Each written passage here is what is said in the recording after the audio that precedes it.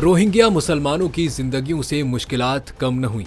अपने वतन में तो ज़िंदगी बदतर थी ही, लेकिन हिजरत करना भी कयामत खेज साबित हो गया। इंडोनेशिया के साहिल पर रोहिंग्या मुसलमानों की कश्ती उलट गई, जिसमें कम अज कम 50 अफराद की हलाकत का खदशा ज़ाहिर किया जा रहा है। गैर मुल्की मीडिया के मुताबिक कश्ती में 150 से जायद अफराद सवार थे। कश्ती उच्चे के मगरबी साहिल से तकरीबन 19 किलोमीटर के फासले पर खराब होकर उलट गई। मकामी माहीगिरों ने कश्ती में सवार लोगों की जाने बचाने की कोशिश की और चार खवतिन और दो मर्दों को रेस्क्यू करके पनाहगाह मुंतकिल किया।